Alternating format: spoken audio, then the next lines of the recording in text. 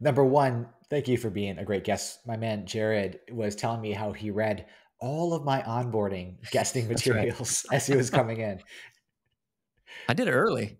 Yeah, yeah. I think I did it yesterday or the day before. I was, I was, you know, ready to rock and roll. So yes, uh, I met my man here at Podcast Movement in Denver, and we immediately hit it off. And mm-hmm. even before it was on air, uh, he represents and is the voice slash face of Strong by Design, which is a, yeah one of them. Yeah, we have a couple of us, but I'm I'm one of them. It's a YouTube channel on working out lifestyle. Tell us a little bit about it. Yeah, strong by design. So we believe that uh, you were created to be strong, uh, mind, body, spirit. So we have uh, several of us that host uh, different episodes. We have our fitness guy Chris, who uh, will you know be able to tell you all about how to keep your your physical body strong. Um, we have uh, another girl, Tanya. She does like whole, holistic health. Um, you know, what should you be eating? What should you not be eating? You know, episodes on cancer. Uh, Chris does stuff like he's brain certified. He's done lots of stuff on studying the brain and things like that. So, um, does some of that stuff. And then when they hired me a year and a half ago, they asked if I could uh, help cover some of the faith and family. Um, and so, you know, we we cross over into each other's stuff, and Chris and I will do episodes together. And uh, we've had one off the wall, uh, one where another guy in the office we did uh, uh, conspiracy theories, which was kind of fun, and he made us all these like foil hats that we were wearing and kind of took us through different conspiracy theories and so that was kind of a fun one um, but we're a mixed bag but yeah we it's great we i'm i'm glad i this is my i work for a company called critical bench it's a fitness publishing company and this is strong by design is our kind of our our, our ministry to give back. Um, and it's nice that I'm I'm a pastor uh, originally before working here. Came on uh, as a video production specialist, and so it's nice to have an outlet to to still uh, share God's truth and and my faith and and. Uh, and so it's a it's a blessing to get to do that, and I'm excited to to get to be here with you. So awesome! Yeah, we have we have a great show, and uh, even before that, we'll probably come back to some of the exercise stuff we were talking about because yeah, I, I, think it's it's so important. It's something that I'm currently on in this journey of like uh, working on yeah. my body, doing hard things. Yep. And the reality that like your mind, body, and spirit are actually all working together, and so if one is messed up, it it it sinks over into the other spots. So I've been listening to a lot of these discipline and motivational speeches while I'm working out because mm-hmm. I, I just yeah. want to like as I'm doing resistance training on my body, I want to like resistance train my mind at the same time. That's right. And you know, like the consistent messages that comes through is what you're doing in private. You know, you go into hiding, do the work, then come out and show, and also the kind of jazz. What do you think about that? As far as like just go get the work done. Yeah, yeah, discipline, that kind of jazz.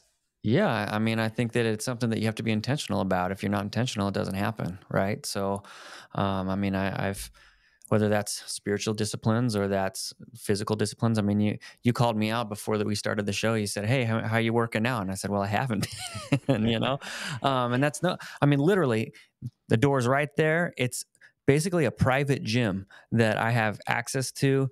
Uh, I can use it whenever I want. My boss encourages us go out there, get it done, and uh, if anyone had no excuses, it's me. And yet, if I'm not intentional about it, it just it doesn't happen. And so, um, and, and, you see that, you know, it's it's funny with with gains and with fitness. Um, it, it takes a long time to get where you want to and it's gone in like two weeks you know? So uh, it's something that if you're not keeping up with stuff and really uh, making it happen uh, it, it, falls apart quickly. And that's actually why I, I, quit was because last november it's been almost a year now i had a really bad migraine. Uh, and uh, it was so bad uh, actually my my wife's uh, mom was visiting us and I had I get migraines and you know usually I can just take some Excedrin migraine sleep it off, you know, whatever. Maybe once or twice. Uh, I'd say once every couple of years, I would get one so bad that it would cause me to like puke and stuff. Oh, and so this one was horrendous. It was really, really bad. Uh, my wife, Christiana, and her mom and the kids, they all went out to eat. And all of a sudden, I'm like, okay, it's going to be bad. I go to the bathroom and it gets it's so bad like i can't stop throwing up. It's really bad and then i get vertigo and i don't know if you've ever had vertigo but like the whole room starts spinning and uh, literally i'm on the ground. I tried to text christiana i tried to call her could not get a hold of her. I'm like man i think i'm dying. I don't know what's going on and i i remember praying and saying god what what do i need to do? And i remember god spoke to me and said, You need to dial 911. No one's going to do it for you. Um, and it was like he was giving me permission to call because I'm like, I don't know if I, you know, and, and you, you never think you need it, right? Right. Um, and so I dial 911. Um, you know, the paramedics come. Thankfully, we have like a lockbox, and I was able to give them, uh, you know, the lockbox uh, key so they could get in. They're like, Can you come downstairs? I'm like, I'm literally on the floor and cannot move. Like I can't move. When I try to get up, like everything's spinning. Um, and it's just, it's very bad. So they got there, they got me into my bed. Um, they were able to get like fluids into me right away and start giving me like medicine the ambulance came, took me, you know. So it was a whole ordeal. I was in the, I mean, I didn't have to stay the night at the hospital, but, you know, they gave me like the migraine concoction and got everything under control and ended up going to a neurologist, you know. But after that, um, it was, it affected my body. And uh, for like a couple of months, like my neck hurt really bad and uh, just trying to recover from that really bad migraine episode I'm like, I can't work out. Like my body is not at a place that it can work out. And so uh, then finally, you know, eh, I'm in Florida. There's no AC out there. It was at that point, then it's the summer and it gets really, really hot, you know, in the gym. And so uh, I just haven't uh, been intentional to get back in there and get back to it um, since that happened. And so uh, my wife gives me a hard time about it all the time. She's like, "Hey, remember when you had muscles? That was cool," you know. um, but it's one of those things that if even when when you have easy access to it if it's not part of your plan if you're not intentional about it it's not going to happen um, and so i guess that's kind of my two cents about the whole thing. I, I did go to a neurologist, by the way, and I'm on uh, some some prescription now that's been like a lifesaver for me, and so um, doing a lot better with with migraine stuff. But uh, it was bad. Are you? Uh, I'm I'm very glad that you're doing better. Yeah. so, yeah. Uh, are you going to incorporate something back into your your physical routine? Yeah, yeah. So I'll, I'll start. Uh, really, I, I, should start yesterday. Um, you know, at, at, least like three days a week, right? Like, um, no excuses. Just get out there. I mean, we have machines. We have free weights. We have a cable machine. We have a turf. You know, we, anything you could possibly want is out there. If you want to do CrossFit, we have ropes, you know. So um, I just need to get out there and, and even just dumbbells, like lifting dumbbells and just just being active. And I heard recently actually that it, it's uh, it's not like muscle building that keeps you young; it's mobility. Um, and so as mm. long as you're moving and you have the ability to move and you're, you know, it's your joints, it's your your ligaments, it's all of those things. And it's when you lose your ability to be mobile, that's when your health really starts to decline. And so you see these people who are really old and they're really skinny, you know, and it's they're most of the time it's because they're just super mobile and active. Um, and that's what helps keep them healthy and young. That's really interesting because that's mm-hmm Dr. Attia's work, right? Outlive, mm-hmm. and that's what that book's about. And then another uh, another great personal brand, Dr. Gabrielle Lyons, is kind of making the rounds, and she's all about the musculature and and and building that up, and that's one yeah. of the keys to to longevity. So what what makes it the mobility? What makes that really great for a feel good father? And under the sure. idea, right, that most of us the age of the new age of a new father is kind of increasing. Like we're a lot older when we're having kids now. Mm-hmm. So by the time the way I think of it is like by the time our children are getting married, yeah, you know, especially if we have daughters and we want to dance, if you're a father and you want to dance with your daughter, yeah. that you could be 70 or 80 before that happens. Sure. Sure. So where where does this come from?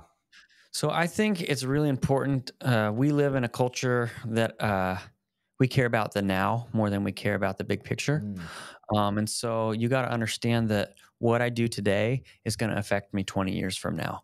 Um, and it's not, it's, it, it's, it's a slow grade, right? Um, and so it's something that if you're not making those changes now, then you are going to be in trouble 20 years down the road. And at that point, it's like it's too late. Mm.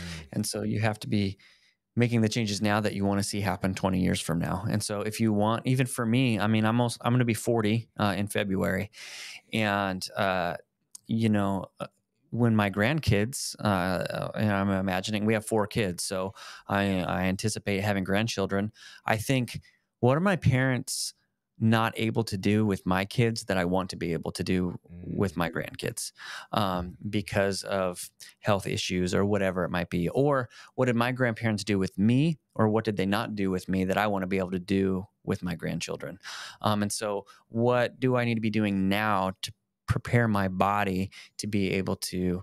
Uh, to tackle those things. And uh, I mean, there's there's only so much you can do. I mean, our bodies are going to age. We're going to get older, and that's uh, that's you can't stop that but there are things that you can do to continue to have that mobility to continue to have that strength so that you can be uh, active with with your with the with your kids. You don't i don't want my grandkids to come to my house and be bored. I want them to be to love being with me you know what i mean? Yeah. and uh, uh, because of the different things that i'm able to do with them even cognitively you know whether it's playing games and things like that you know? So keeping keeping your mind fresh and going as well is also important. How do you define and project what you want for the future? How do you prioritize and build that list to make sure that uh, you're living appropriately today for tomorrow?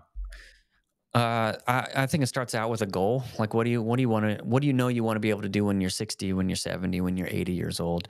Um, is it just simply being able to take a walk, you know, around your neighborhood?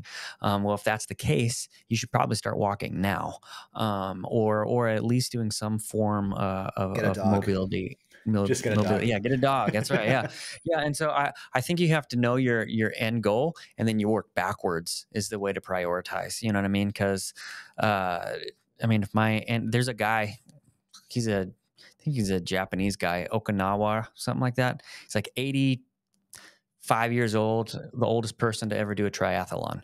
Um, you can look him up.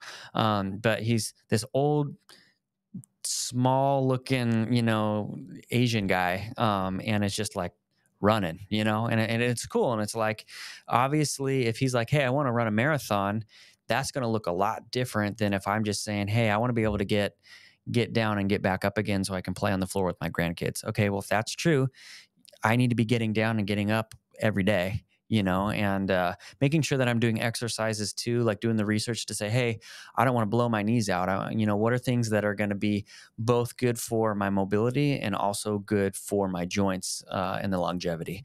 Um, and so making sure that you don't over, you know, there's that that fine balance of of overdoing it to the point that you you kind of kill yourself as well.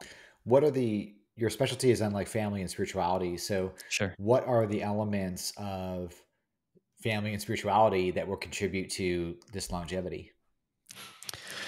Yeah, so uh, uh, our bodies and our and our and our minds and our spirits are all intertwined, right? They're all connected, and so uh, if I'm if I'm physically unhealthy, a lot of times I'll be mentally and spiritually unhealthy. And you see that effect, right? There's something weird that happens when I'm working out regularly. Like I'm just a more joyful person. Um, I, am more my brain is functioning better and uh, my mental well-being feels better. My emotions are, are better regulated. Uh, sleep is a big deal right? If i'm not getting enough sleep uh, you know i become a grump you know? I become uh, short with the kids you know? All of a sudden they spill a glass and instead of being like hey it's okay life happens you know i'm frustrated and, and i'm what's wrong? Like, why would you do that? And why why aren't you thinking? You know what I mean? And it's like you're going in places that you know are not good places to go, mm. um, and yet you find yourself in those spaces. So uh, it's all tied together. And so uh, if I if I'm not paying attention to to my spiritual uh, space, if I'm not connecting with God in a regular way and saying, "Hey, how does that spill over uh, into my daily life?" That can also start to affect my my physical body, you know. And so um, it, it's intent you almost compartmentalize all three. You know, I'm always learning. I always want to be challenging my brain. Uh, I'm always growing spiritually and saying, "Hey, God, what what are the things that I can be doing to to be growing?" Uh, and that looks different for everybody. There's a great book called "Celebration of Discipline" by Richard Foster. Highly recommend it, um, and it has all of these different spiritual practices that you can do individually as well as in a community um, to help develop uh, your spirituality because a lot of times people are like well what does that mean what does that look like and they compartmentalize it to oh i got to get up early in the morning and i got to read the bible and do a devotional I struggle at that. I I, I suck at uh, doing a devotional every morning. Um, I'm just not good. But I can connect with God in so many other different ways. Mm-hmm. You know, I'm a I'm a videographer and photographer, and I love taking pictures of, of, like nature and image. You know, these things where I can see God's beauty and be like, "This is awesome," and kind of connecting with God in, in those spaces. Um, other people just love to be in nature and just walking. You know, hey, I like to take hikes. I like to uh, go camping. I like to, you know, so it's finding what is that thing in you that you love that God has placed in you, mm. and then bringing God into that space and, and using it as a, as a relational aspect because God is a relational God. Um, so then you have all of these, the three different areas, right? So you have, I'm learning, uh, and I like, I only typically like will read stuff that's going to challenge my my brain to think and grow. Um, that's just I'm not a big fantasy or non. Uh, I'm not a big fiction reader. I'm a nonfiction reader. Um, for better for worse. Uh, some people love you know fiction. Um, I just I always struggled with it. Um, I love the books that have stories in them because then I can skip the story and get right to the meat, and then I get through the book faster. Um, so uh, you have that, then you have your spiritual stuff, and then making sure you're doing something physically active. You know, taking care of your body, eating right, sleeping right, um, and again. I don't always practice what I preach. Uh, I with with my wife's new job, we're running around a lot.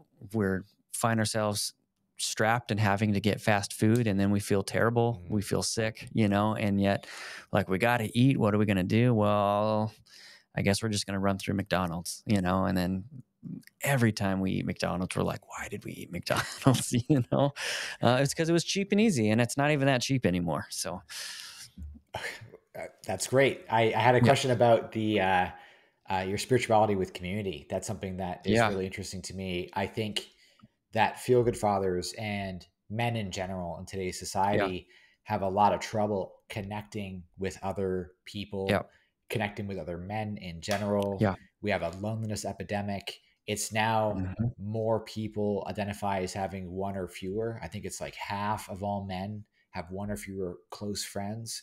We mm-hmm. don't know how to be with each other. We have. I only have you, Jay. Thanks, Darren. Yeah. Anytime. You got me. Yeah. Uh, Our second conversation. that's right.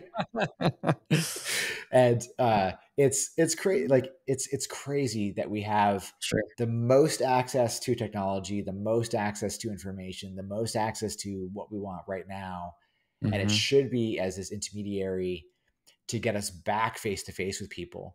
Yeah. Uh, but it's actually just this stay on platform thing. Yeah. Um, how do you let's let's let's get to the question.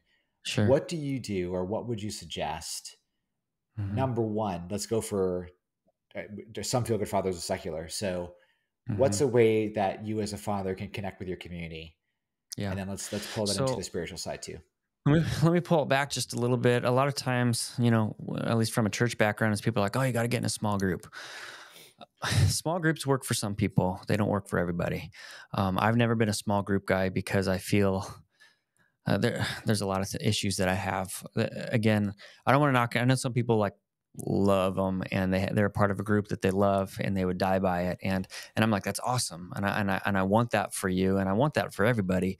But the problem with small groups at church is typically you get put with people who you wouldn't normally connect with. Mm. Um, and so, yes, you, yes, you have the Bible, and yes, you have Jesus, and you're and you're trying to have conversations about that, and and then apply it to your own own space, but you're not necessarily journeying with those people. And so, I think finding people uh, that at least and again this comes back to intentionality right if you're not intentional you're never going to find these people um, but finding people that are like-minded and, and things that you enjoy doing. So i mean men in particular like to do something. They don't just like to sit around and talk about their feelings. So can you go play top golf with some people? Can you go golfing with some people? Can you do a sport? Um, when I was pastoring in Iowa, I started a, a fantasy football league, and I did that intentionally to get the men to get together at least once a year, and we would have a uh, like a, an actual draft party where I'd have them all bring food, and we would hang out, and we would get to know each other. We would draft. We would you know just have fun, just being people, and uh, I think men uh, are oftentimes uh, we have so much pressure on our shoulders, especially as fathers and as husbands, where we're trying to carry the weight, that finding a healthy place to just be um, can be sometimes difficult. In our culture, like typically for men, it's like sports or or or the bar, right? And it's like those are kind of like their two outlets, and both of those can be really unhealthy um, if you know if not kept in check right. um, i don't i'm not a big like bar scene guy anyway i just never have been um, you know i don't i don't mind having an occasional drink with somebody um, whatever um, i think beer tastes horrible that's just my my my preference uh, you know uh, I'm sure that all of your people can comment and tell me how stupid I am for for saying that beer comment, tastes terrible. Comment below. Let us know. Comment below. You, yeah, yeah, tell me why I'm dumb. And and everyone's like, oh, you got to try this one or you got to try that one. I'm like, they all taste the same to me. I'm sorry. Uh, actually, uh, can I tell you a quick story? Uh, a pastor of mine, he has like this whole like whiskey room and he had all the pastors over and it was like this whiskey tasting and it was he had like four different uh aged uh, whiskeys that were the same brand, just different years. And it was like, it was like one, five, 13, and like a 22 year old whiskey. And so he's pulls out his book and he's reading everything that's in it, you know, and uh, I'm just like, this they all taste the same and they all taste rubbing, terrible. Rubbing alcohol, uh, yeah, rubbing yeah. alcohol, and, rubbing alcohol. And so we get to the last one, and he's like, I'm just making fun of it the whole time. And he's like, You don't get to drink this one, and it's it's fun. And I'm like, No, no, no. I drank everything else. You are giving me the the 22 year old whatever it is, and I'm going to drink it. And so um, I did, and it tasted the exact same as everything else. But uh, um, you know, I, I, think finding ways to connect with people. Uh, another thing I did with a guy in Iowa is he was really into woodworking. And so I'm like, that sounds like a fun thing to do. And, and he built like a wood shop in his garage. And so I went over once a week and we just hung out and built stuff. Um, and it's, I think it's in those moments when you're doing something with somebody that naturally and organically uh, you start to have conversations. You get comfortable with the person, you get to know them. Um, and so I, I think it's finding something that you enjoy um, and then finding other people that enjoy it, um, and then being able to share life with them in in, in those moments. And so, um, and that's going to look different for everybody. Um, and you know, even if it's hey, we get together and we watch a football game or hockey or whatever. You know, I have another guy in Colorado that um, he's a big Colorado Avalanche fan, and uh, I'm originally from Colorado too. So as soon as like hockey season just started, and so it's like all of a sudden I'm reconnecting with Michael Vance, you know, um, and and we're we start catching up on life, you know, because of that. So um, and it's just it just I think that that that's kind of the icebreaker when you just get a bunch of people in the room and say hey let's talk about our feelings it just it, it always flops i think one of the it's a well documented paper now that talks about that uh, men and women approach. It was there. It was a therapy paper. It was a study on therapy, sure. and it was like the results from therapy. And they're saying for women it's great, but for men it's not. Um, mm-hmm. Um, and number one, that's because the th- uh, therapists are dominated by women, and some men just don't. You know, like it's it's hard mm-hmm. if you have like you got sexuality issues or something like that. Like it could be yeah. challenging to have that conversation with a woman. Um, mm-hmm. But then the, the other, but the main thing I think is um, women want to face each other and have the deeper mm-hmm. conversation mm-hmm. about their feelings and want to roll each other and, and do that. Whereas men, as you're saying, they want to walk side by side and they want to yeah. do something together. And that, that goes down to just hormones and it's vasopressin mm-hmm. is the main one there versus oxytocin, right? Women have more oxytocin. Not wait, I'm not saying that right. Yes, I am oxytocin uh, receptors and men have more vasopressin. Vasopressin is activated when you accomplish something with another with another person, mm-hmm. and so um, that's the whole band of brothers idea, that kind of jazz, right? You get together, you solve a problem together, mm-hmm. and that's how you do it. Um, absolutely love it. Uh, thanks for sharing. This has been really good. Uh, yeah. Uh, we have some some points here on on fatherhood and then and then being a husband. Sure. So I, I, thought this was really interesting. We were talking off air about boundaries, and, and what's your take on that? Uh, good book. Another good book is Boundaries. I don't know if you've read it or not, um, but they're uh, creating healthy boundaries, um, both for yourself and for your kids, um, and your marriage. Uh, I mean, uh, I think that we don't uh, we don't think about boundaries enough um, and, and, what that looks like. And so, uh, you know, my wife and I have been very intentional with, uh, you know, technology boundaries. What do those look like for our kids? What are we allowing them to do and what are we not allowing them to do? And not allowing our culture to dictate um, what those boundaries are, mm. um, which is, uh, you know, a lot of times countercultural. Um, and people, you know, all of a sudden you're the crazy people, you know, that don't let your kids have phones, you know. Um, but I'm like, man, you're not ready. You're like your your brain is still developing. I've always thought it was interesting that you can't rent a car until you're 25. The reason you can't rent a car until you're 25 is because the car companies know that your brain is still developing and you make really poor choices mm. you know uh, and uh, it's at 25 that you reach that age where not everyone is like fully matured at 25 but it, your brain has had, had enough time that the majority of the public now um, have reached that that level of uh, I'm no longer just going to go run and jump off a cliff because I'm a, I'm a guy and I and I'm and I'm crazy. You know, yeah. um, I, I have a little bit more sense of responsibility, and my brain has now been developed, and so we we have that standard and we have that understanding uh, with car companies. But then when it comes to human beings and kids making choices, we think, oh yeah, they can do that. They can make their own choices. I remember yeah, let them ago, choose whatever they want. I remember years ago and, when uh, Instagram was releasing the Instagram Kids and they mm-hmm. had announced that they were doing it huge backlash everybody was like no no we shouldn't do it we shouldn't do it and and people were citing studies what social media does to the brain all that kind of jazz and then they did it anyways and it's not just instagram it's facebook and all that kind of stuff kids messengers right. all the different yep. platforms have it and we see the rise in depression negative emotion suicide, suicide, uh, yep. uh, suicide attempts uh, yep. It's crazy, and it's just like, yeah. come on, how? Yeah, I, I completely agree with you. Um, that we need to have it's boundaries. Just, mm-hmm. And I mean, that's one example, right? Another boundary that we have is we don't let our kids do sleepovers, mm. um, because you don't know what's going to happen in someone else's house. Um, you don't know. I mean, you, you do your best to, you know, protect your own house, and even then, you know, stuff gets through.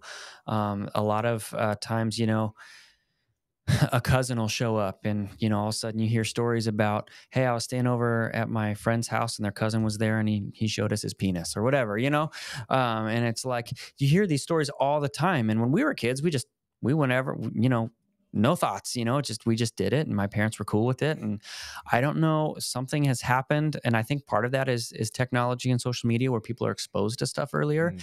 and then kids are curious right and they want to know things and they want to be an adult all right my 10 year old daughter wants to be my wife and acts like my wife and uh christiana sprained her ankle and the other day karia is like pulled out an ace bandage and is like wrapping her ankle and i'm like why are you doing that? And she's like oh well mom has an ace bandage on so i should have an ace bandage on. And i'm like no like like it's such a silly thing you know?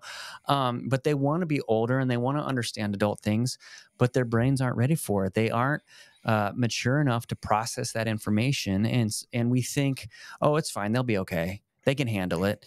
And I, especially like with halloween right now like uh, the things that we're exposing our kids to is like holy cow i can't believe you let your kid watch that like you know horror movies and slasher films and all of these things and they're like oh it's fun. It's, it's just all in good fun and i'm like but it's not because you are shaping your child's brain to think and operate a certain way and it's outside of mo- moral reality um, there's actually a, a, uh, problem on this this piece um, i love the moral reality part but there's actually a, a study that uh, hyper violent images, whether it be from the news or from horror movies, and sexual images, uh, mm-hmm. pornography, or even just magazines, men's mm-hmm. men's interest, women's interest magazines.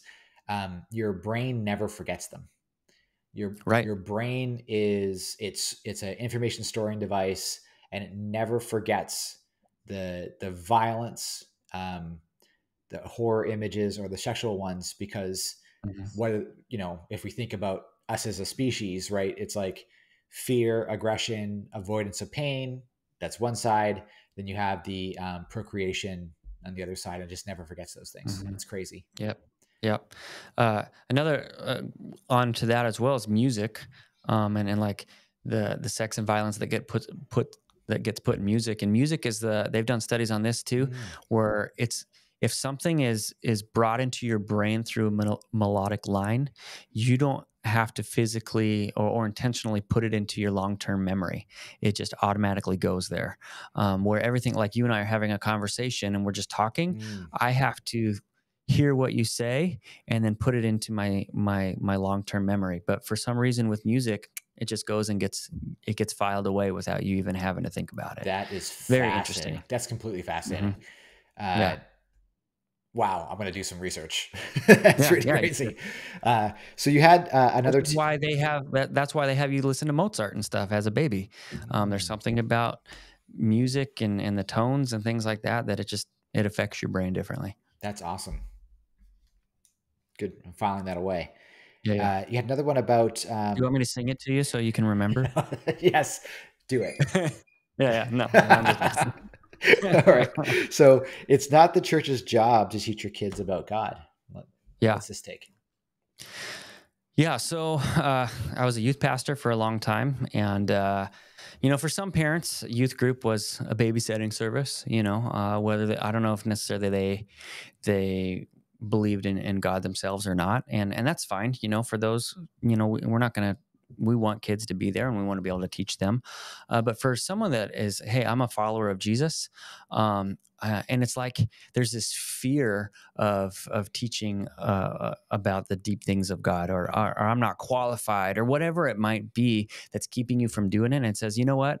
I'm just going to take them to church, and I'm going to let the let the church teach my child for me and that is not a biblical principle i mean uh, it you know scripture clearly says teach your children in the ways that you want them to go you know um, you know and you know put it bind it on your hands you know put it on your foreheads and always be speaking it to them um, so that it, it, becomes part of, of of their daily life. And they need to see it in you as well.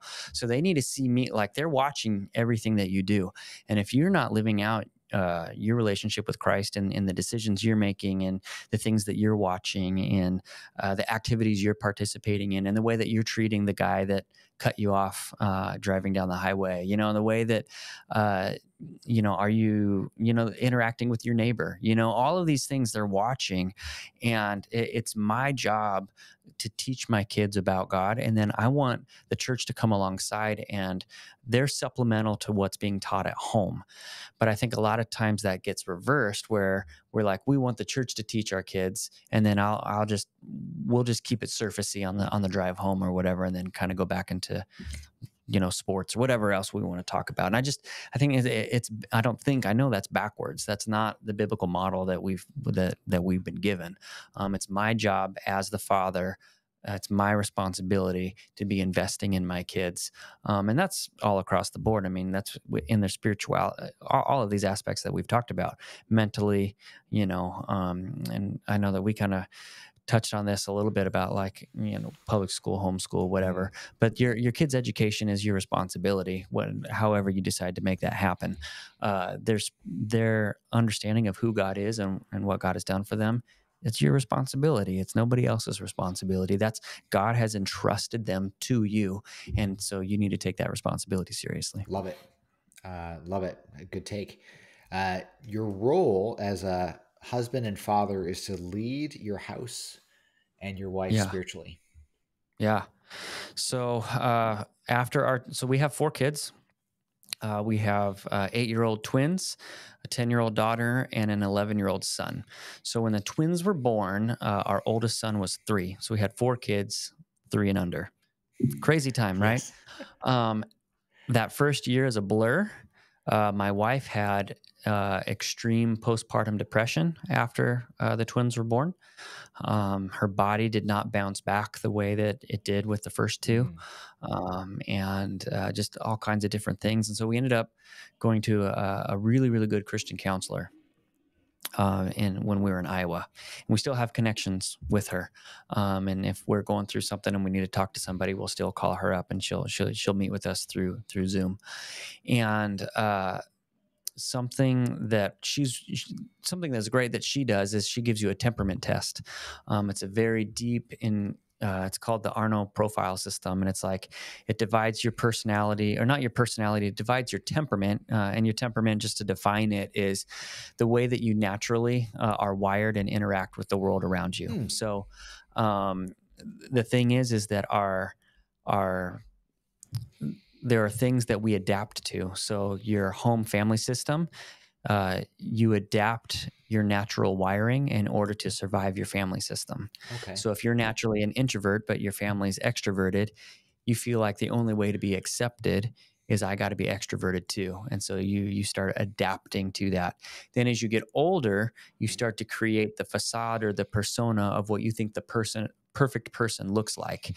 And so then that's the person that you try to proclaim to the world. That's what we see on on Facebook and Instagram, right? Is that that person that uh, we think will be most accepted by the world around us. Mm. And then everything else we try to keep hidden. Um, and so, what the temperament test does is it brings you back to the original creation of who God made you to be in three areas in uh, acceptance, in control, and inclusion. These are kind of the three areas that it, it breaks you down in. Um, and then there's like five different temperaments in each of those, and there can be like cross temperaments and things like that. So, all of that to say, uh, in control specifically, my wife is what is called choleric. And a choleric is a person who loves control. They like everything like everything has an order they walk into a room and they say okay this is what's wrong and this is what needs to be fixed my natural temperament is uh, supine and supine is naturally submissive um, and it's not i just i don't i don't care like i don't want to control anyone naturally and i if you want to have chicken, let's eat chicken. If you want to have steak, let's have steak. I don't care. You know, like um, I, I, I just don't have a strong opinion on on most things. I'm happy to go with the flow. Um, and what we learned in this counseling session is that Christiana uh, desperately wanted someone to give her boundaries. Mm. Um, and wanted someone not to control her, um, but to lead her um, and that our marriage was always going to struggle until uh, our our roles reversed. And so, uh, you know, we I, I can't tell you the scripture off the top of my head, but there's a scripture that says like wives submit to your husbands, and that can come across very harsh, especially in our culture. It's not like it's not a slave. It's not like you shut up and you do what you're told. You know, it's it's not like that. It's saying there's a natural order that God designed things to work in, and the the man uh, was designed to lead the home and to be to lead the home in a spiritual way. And when I started stepping up, and Christiana started learning to surrender, like it literally saved our marriage. Um, just that that role reversal um, where she we were with the depression and the kids and stuff like that, we were slowly drifting apart. And uh, that was one of the things that completely flipped us back around. And, and I'm not perfect at it still. I'm still battling my my natural temperament mm. um, to uh, just go with the flow and not worry. Um, and I have to be very intentional to say, okay, what does it look like for me uh, to lead our home in this? How do I make my home a sanctuary and a place that's that's safe, both physically and spiritually for my home, for my family? You know, uh, and and that's uh, and then Christiana has to continue to say, okay, Jared doesn't lead the way that I would do it but that doesn't mean it's wrong. Just because it's different doesn't mean it's wrong. And so she's uh, battling her temperament and saying, okay, I'm going to do this God's way and not the way that I think that it should be. Uh, and I'm going to say, hey, if Jared says this is what we need to do, and I trust that he's following God, right? That's the way that it works. Is it only works if if I'm doing what God is asking me to do. Mm. Um, if I'm doing what Jared wants me to do, and I'm trying to make everyone else do it, then that's a problem, and that's that's like abuse of power, right? And that that messes up the order of things as well. But if I'm saying, "Hey, I'm I'm I'm following Jesus," and as I'm praying and as I'm and as I'm saying, "God, where do you want us to go as a family?" and I come to Christiana and I say, "Hey, I've been praying about this, and this is what I think God is is asking us to do," she's going to say, "Hey, I trust you." Uh, she and she's done that so many times. Like even with moving to Florida, um, we're praying through is this is god asking us to uproot our family from colorado and and move however many thousands of miles away from our family. And it got to the point where I'm like, I'm, I'm always asking her, what are your thoughts? Give me your, your, your input. And it got to the point where she said, Jared, I know that you've prayed about this, and I trust that you can hear from God, and I'm going to trust uh, the decision that you come up with because I trust that God is leading you, um, and that's the way that it's supposed to work.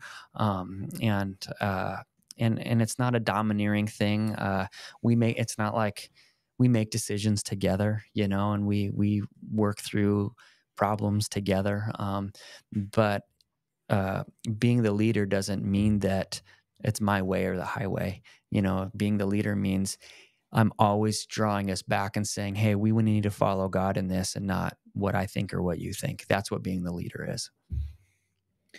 The the second Does that makes sense. It absolutely does. The second yeah. part of that, it's in Second Peter's that uh, or Second Peter rather that uh, many people don't quote is that um, mm-hmm.